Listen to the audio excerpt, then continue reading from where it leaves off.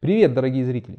Мошенники придумывают все более изощренные способы добраться до ваших денег. И сегодня я расскажу вам, как мошенники могут написать вам от имени вашего руководителя и что они вам будут рассказывать.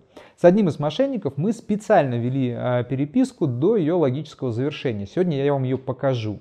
А пока я рекомендую вам подписаться на канал, ну просто так, на всякий случай. Если у вас возникнет необходимость задать вопрос юристу, то ссылка на мои рабочие мессенджеры каждом закрепленном комментарии под видео. Пишите, я на связи. А теперь поехали. Итак, однажды утром в телеграм финансового директора моего клиента прилетает сообщение от генерального директора с нового аккаунта, но фамилия и имя совпадают.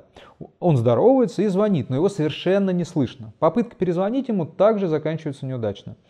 Он письменно жалуется на то, что находится в дороге и начинает переписку.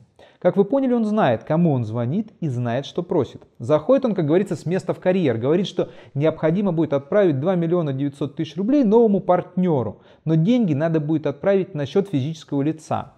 К моменту получения сообщения о необходимости отправить деньги физику, мы втроем, и я, и финансовый директор, и настоящий генеральный директор, уже были на связи и приняли решение продолжить эту переписку. Мы само собой говорим мошеннику, что это не очень удобно, что лучше бы уточнить, нельзя ли перевести на счет ООО, неплохо бы получить назначение платежа, и мошенник обещает уточнить и быстро возвращается с хорошей новостью. А оказывается, это только первый транш на физика, а потом будет ООО. Мы продолжаем играть с ним и просим реквизиты. Мошенник пишет, что реквизиты сейчас отправят, а в назначении платежа просит указать погашение задолженности. Какой задолженности? Перед кем? Но мы не стали в это углубляться и продолжили. Не прошло и трех минут, как к нам прилетают реквизиты. Мошенник сам уточнил, не нужен ли нам скан паспорта, и выслал его. Это паспорт 19-летнего парня, откуда-то из провинции. На фотографии вообще совсем ребенок. Мы уточнили сумму, мошенник подтвердил ее и поручил нам сразу по факту оплаты направить ему платежку. Ему было обещано быстро все сделать, и на этом мы переписку решили закончить. Мошенник отправился в бан. Такой схемой я столкнулся впервые. Она достаточно редкая и малоперспективная. Как правило, главный бухгалтер, а уж тем более финансовый директор, как в данном случае, человек умный, последовательный и способный адекватно реагировать на ситуацию. Он способен анализировать ее и делать выводы. Есть куда более простая схема, по которой отрабатывают обычных сотрудников компании. Давайте вкратце и о ней расскажу. Начало абсолютно такое же. Вам пишет директор с неизвестного аккаунта. Иногда мошенники находят э, реального директора в мессенджере, воруют его аватарку. И вот какой диалог значит, случился у одного из сотрудников моего клиента с мошенником.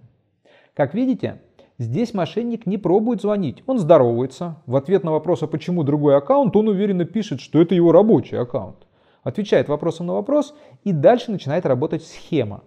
Он пишет про некоего сотрудника из органов, который проводит проверку их компании и у него вопросы непосредственно к этому сотруднику. В данном случае сотрудник сразу все понял и достаточно быстро прекратил общение. А вот одна из бывших сотрудниц другого моего клиента общение не прекратила, и с ней связался проверяющий, а потом уже совсем классика. Проверяющий рассказал ей о том, что она подозревается в финансировании сами знаете кого. Он на ее стороне, и ее деньги в опасности, их надо перевести на безопасный счет, и как итог минус 300 тысяч из бюджета женщины, для которой это астрономическая сумма. А еще они могут не обвинять вас в финансировании того, кого нельзя называть, а совсем по классике просто рассказать вам, что ваши сбережения в опасности – Мошенники отрабатывают конкретные списки сотрудников компании с персональными данными, слитыми из одной из баз. И судя по моему наблюдению, базы достаточно старые, так как много людей, которые уже не работают в компаниях. Об этом мошенникам, естественно, неизвестно. Неважно, что это за базы, они сливаются регулярно. Давайте запомним базовые правила, которые диктуют нам жизнь с появлением этого нового способа мошенничества. Правило первое. Постарайтесь не паниковать и не торопитесь. Если не можете справиться с тревогой, обратитесь к коллеге или близкому человеку. Второе. Если директор пишет с неизвестного аккаунта, перезвоните ему по известному вам номеру. Третье. Никогда не ведите разговоры на финансовые темы с незнакомыми вам лицами, кем бы они ни представлялись. Не говорите, в каких банках у вас счета и сколько там денег.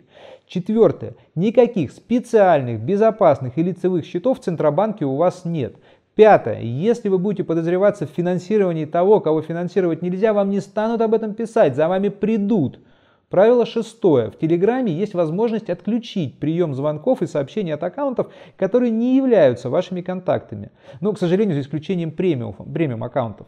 А мне уже попадались мошенники и с такими. Так вот, этой возможностью тоже надо воспользоваться, если не уверены в себе. Друзья, многие из вас в комментариях под моими роликами о мошенниках пишут о том, как они любят над ними прикалываться, как они любят их троллить. Мошеннику абсолютно все равно, троллите вы его или нет. Ну, разве что совсем зеленый выходит на какие-то эмоции. Остальные просто кладут трубку и набирают следующий номер из базы. И номеров таких у них миллионы. Если даже один из тысячи звонков выстрелит, это уже будет успех и месячный KPI будет выполнен. Я надеюсь, друзья, что этот ролик был вам полезен. И как всегда, вы можете вопросы по его теме задавать мне в комментариях. До новых встреч на канале.